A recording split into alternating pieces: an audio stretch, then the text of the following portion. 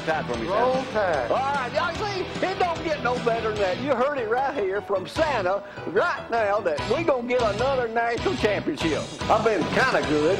That's all I wanted. A national championship this year to put shut up to shut up. You said go.